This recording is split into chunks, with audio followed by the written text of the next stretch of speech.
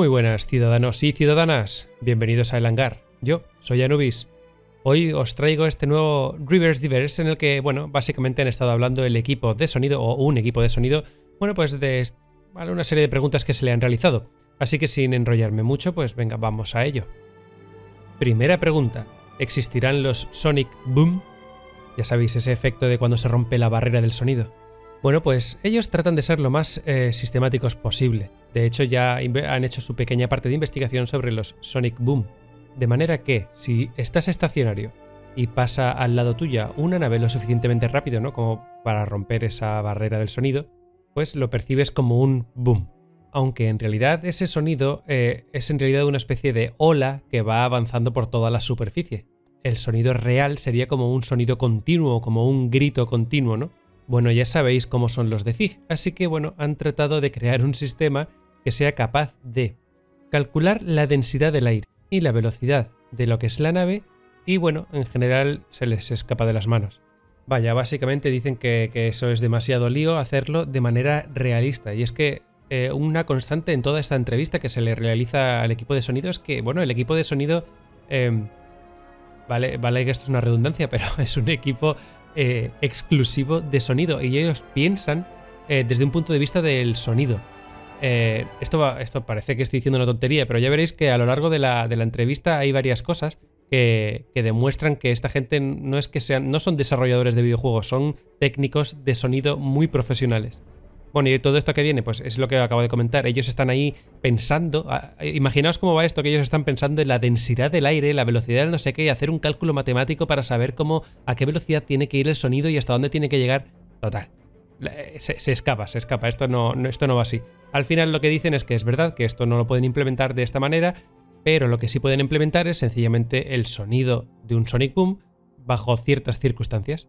Bueno, y aún así eh, la cosa se sigue complicando y es que, claro, un Sonic Boom no se escucharía exactamente igual en cada uno de los planetas, ya que, bueno, cada planeta tiene, eh, bueno, pues tiene una gravedad, tiene una atmósfera que es muy importante y sobre todo la densidad de esta, porque como sabéis, y si no sabéis ya os lo digo yo, el sonido eh, se mm, viaja mucho más rápido en, mediante en medios densos que en medios más ligeros. De hecho, debajo, dentro del agua, el sonido se eh, viaja mucho más rápido y mejor que, en el aire. Total, que como ya os he dicho antes, esta gente eh, piensa desde un punto de vista científico prácticamente y bueno, el resumen es que... el resumen de toda la pregunta es que lo, van a implementar, lo implementarán probablemente, pero bueno, tendrán que ver cómo. Ya está. Segunda pregunta. ¿Cómo suena la Carrack? Así, así tan panchos han quedado. Bueno, la respuesta es pues increíble, ¿cómo va a sonar? La realidad es que eh, ni de broma han empezado. el sonido es una de las últimas cosas que se aplican en las naves, así que bueno, pues es una pequeña broma que se han gastado entre ellos. La siguiente pregunta es, eh, ¿tienen planeado añadir el sonido del impacto en la nave de pequeños microasteroides o micrometeoritos mientras estás viajando por un campo de asteroides? Bueno, la respuesta es sencilla, sí. Eh, bueno, la han dado, han hablado, bueno, más grande, pero la respuesta es sí, lo van a hacer. Tienen una pequeña herramienta que se encarga de eso y, no hay mucho, no hay problema. Siguiente pregunta. ¿Seremos capaces de cambiar la voz de nuestras naves? Hmm. Bueno, la respuesta es a corto plazo no, porque tienen lo que tienen y a largo plazo podría ser.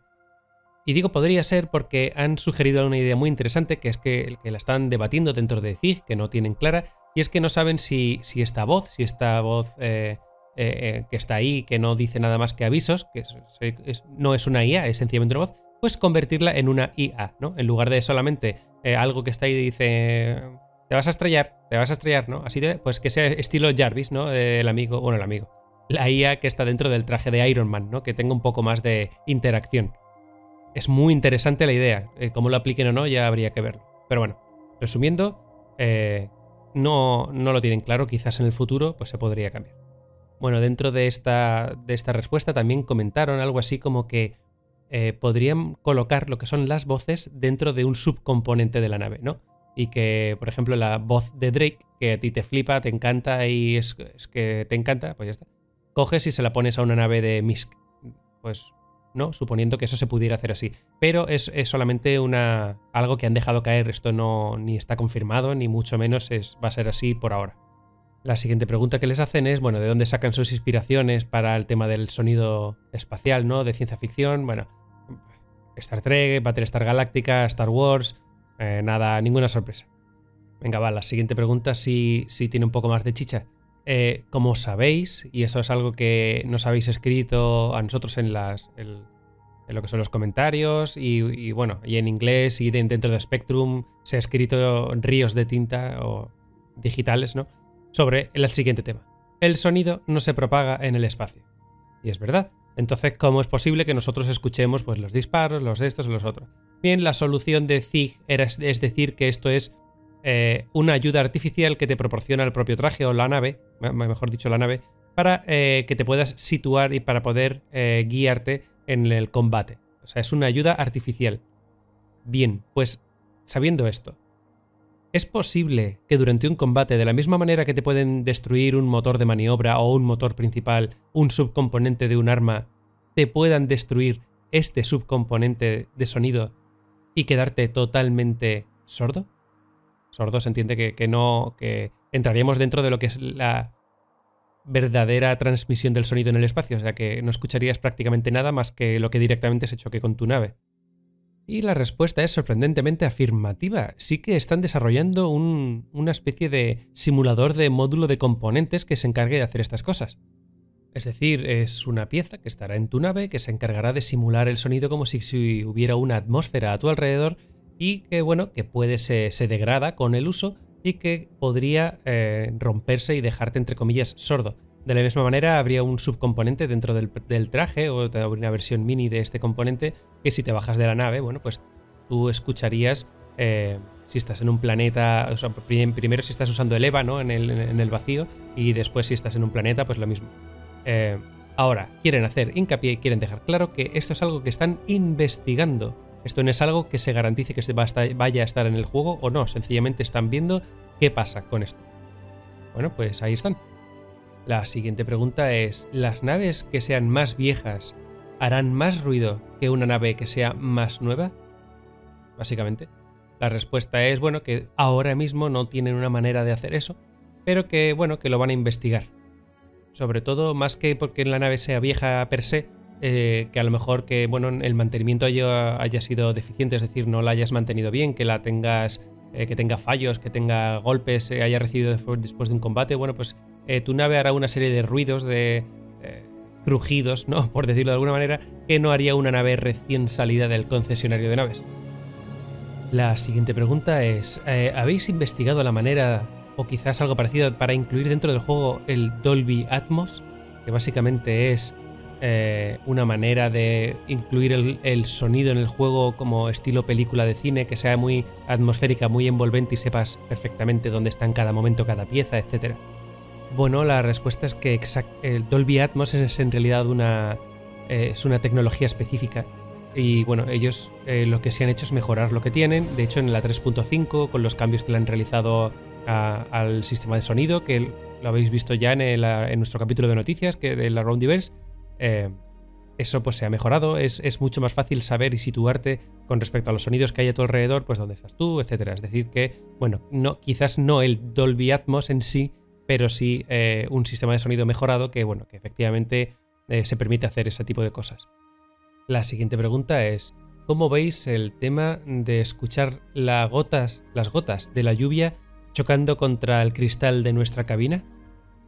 Bien, aquí básicamente dan una respuesta larguísima y se lían mogollón porque piensan como técnicos de sonido. Entonces lo primero, lo primero que piensan es en que cada una de las gotas que golpea eh, lo que es el cristal genere un sonido. Claro, esto evidentemente sería impensable a, nivel técnico, ¿no? Sería una pesadilla técnica para el juego.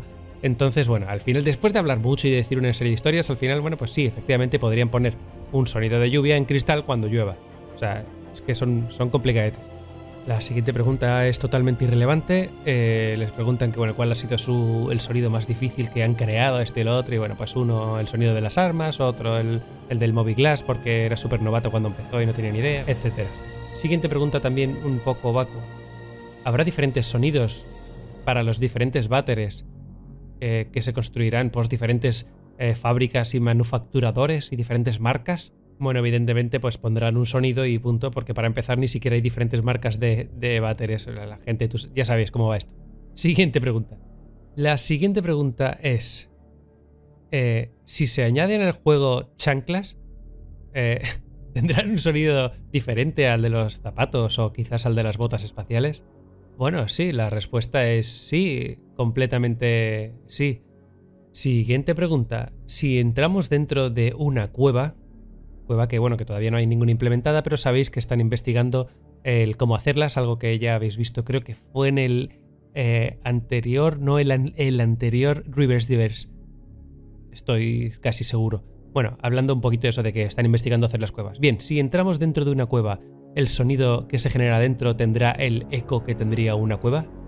La respuesta es una respuesta perfectamente dada por un equipo de técnicos de sonido y es, si sabemos la posición en la que te encuentras y emitimos una serie de rayos para saber la distancia que se encuentra las paredes de ti y de esa manera calcular también si estás totalmente dentro de la cueva o solo parte de ti y a partir de... Bueno, pues se han ahí hecho una pelota y al final, bueno, eh, lo que tratan de decir es que sería algo interesante que investigar porque sencillamente como no hay cuevas, ni lo han pensado siquiera, y que bueno que ellos ahora mismo trabajan con un sistema que eh, depende de la distancia y no del medio. De manera que, bueno, al hablar dentro de una cueva y existir eh, una, especie de reverberación, un eco, le estamos hablando de que el sonido sale más tarde o repetidamente. Por lo tanto, estaríamos añadiendo a la ecuación eh, ya no solo la distancia y la densidad del medio, sino el tiempo. De manera que básicamente tendrían que investigar. Anda, se quedan tranquilos. La siguiente pregunta es, si utilizamos el VoIP, es decir, voz por IP, ¿no? dentro del juego y estamos a grandes distancias, ¿existirá un retraso entre el momento en el que hablamos y en el que recibe el personaje lo hablado? Bueno, pues básicamente dicen que lo podrían hacer, que bueno, sí, pero no, por, más que nada por una cuestión de, de, gameplay, de juego, porque efectivamente sería un poco frustrante para los jugadores y sencillamente pues no usaríamos el VoIP y nos instalaríamos pues por ejemplo Discord, que por cierto, si no estáis en nuestro Discord de El Hangar, tenéis en la descripción cómo entrar y os lo recomiendo porque siempre hay gente muy maja. La siguiente pregunta, bueno, eh, ¿habéis considerado que se puede incluir dentro de las opciones del juego poder ajustar los diferentes volúmenes de una manera independiente? La respuesta corta, eh, sí. La respuesta menos corta es sí, pero eh, no es tan sencillo. Es más, eh, no pueden dejarte manipular todos y cada uno de los sonidos y ponerlos como tú quieras, porque, bueno, por ejemplo, imagínate que estás en un momento de tensión y hay algo persiguiéndote, pues bajarías todos los sonidos y subirías el sonido de los pasos, por así decirlo, para escuchar perfectamente y tener ventaja sobre el enemigo eh, para saber que viene, ¿no? Entonces, bueno, dicen que, que sí, que eh, un poco como el resto de los juegos, ¿no? Que sencillamente van a poner un volumen y su, el, el verdadero trabajos, la verdadera dificultad que tienen es crear un equilibrio en el que todos los sonidos, bueno, porque tú puedas recibir todos los sonidos interesantes, además del sonido ambiente, eh, sin que este sonido, el sonido ambiente, te moleste, ¿no? A la hora de determinar de dónde viene el enemigo o, algo así. La siguiente pregunta es, eh, bueno, los subcomponentes y componentes de la nave, eh, cuando se rompan o se degraden durante el combate o el movimiento, viajes, etc., aparte de tener una, una visión ¿no? Que nos diga el HUD de nuestra nave, nos diga que tenemos algo que esté roto, eh, ¿habrá un sonido evidente que nos indique que algo va mal? Bueno, pues dicen que, que sí, que bueno, que es, que es, en eso en lo que están trabajando, pero que en esta primera iteración, este primer parche 3.5 que ya eh, van a sacar muchas de estas cositas, eh, no prometen nada. Pero que sí, que será así. han lanzado otra pregunta y es que si en los emoticonos o en los emotes que van a realizar nuestros personajes van a incluir también eh, algún sonido. Y bueno, que han comentado que hay algún sonido que se puede añadir, estilo golpes con las manos, palmas, esto, cualquier cosita así, pero eh, cosas que se emitan con la boca, probablemente no, ruidos o, frases o algo así, ya que, bueno, si no existiría una continuidad, ¿no? En el caso de que nuestro personaje esté hablando por VoIP con otro personaje y, estemos haciendo un emote que haga un sonido además, ¿no? Sería como poco realista y poco... Eh, bueno, pues eso, poco realista. Siguiente pregunta. ¿Habéis trabajado en sonidos de insectos, animales, fauna en general? Bueno, pues la respuesta es no, no de manera explícita, pero sí como parte de ambiente. Se hará, pero ahora mismo no están en ello. Siguiente pregunta. La 890 Jump eh, tiene una piscina. Existen sonidos de chapoteos, eh, aguas, cascadas, etcétera? Bueno, pues la respuesta es no. O sea, ahora mismo no. Es algo que tienen que hacer. igual que el anterior, ¿no? Lo van a hacer. Es, es, iba a ser más próximo que el tema de la fauna, pero es algo que ahora mismo, ahora mismo no tienen hecho. Han comprado algunos sonidos hace relativamente poco, han comentado. Aparte, ellos graban la mayoría para tener la calidad necesaria para, para el proyecto. Pero bueno, que eso, que esto exactamente no lo han hecho todavía. Eh, la siguiente pregunta es sobre el jukebox o la gramola o la rocola o como la llaméis en vuestra zona. Es ese aparato, ¿no? Que, típico de las películas, ¿no? Clásico antiguo que también está dentro de Star Citizen. Se podían poner dentro de los hangares en el que tú seleccionabas una canción y la podías poner. Bien, pues este aparato antiguamente te dejaba poner la lista de reproducción que tú quisieras de la música dentro de tu propio ordenador y esto se cortó hace ya algún tiempo. La pregunta es, ¿se va a volver a, a poner? ¿Se va a volver a permitir?